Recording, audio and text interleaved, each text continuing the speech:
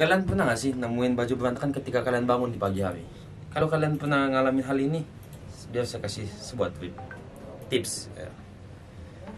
Perhatiin, pertama kita bakal bentang bajunya kayak gini. Ingat, yang ada gambarnya kita taruh di bagian atas.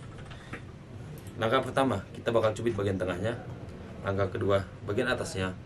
Dan ketiga, kita tarik ke bawah, ambil, kita bawa dia keluar, dan lipat. Dengan ini jadilah lipatan baju dengan tiga langkah.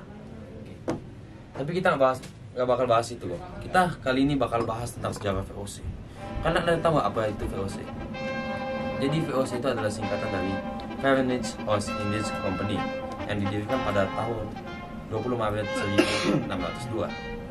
VOC ini awal mula didirikan untuk membantu ekonomi Belanda. Dan di mana waktu itu Belanda pertama kali datang ke Indonesia pada tahun 1596 yang dipimpin oleh Cornelis de Houtman. Mereka pertama kali mendarat di Banten. Tapi apa sih tujuan saya bahas tentang VOC ini? Faktanya, kalian tahu nggak? VOC itu perusahaan terkaya di dunia sampai saat ini. Kekayaannya mencapai 7,9 triliun dolar. Wah, gila. Tuh, kalau kalian bisa bayangin tuh kalau di rupiah bisa mungkin segini jadi ini sama aja dengan kita menggabungkan tiga perusahaan segede Windows, hmm, Facebook dan juga Apple.